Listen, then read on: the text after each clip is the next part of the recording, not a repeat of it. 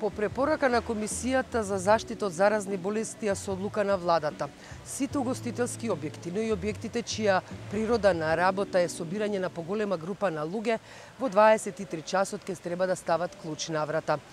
Исто така, од вечерва стапува на сила забраната за организирање на јавни настапи.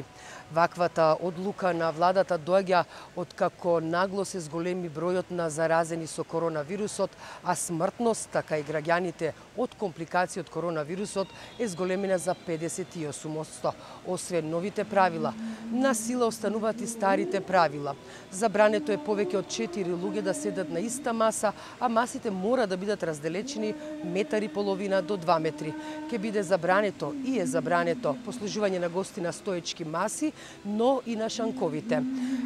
Собствениците на гостителските објекти ќе мора строго да ги почитуваат санитарно-хигиенските правила поставени од здравствените власти, а бучавата во гостителските објекти ќе мора да биде сведена на 55 децибели.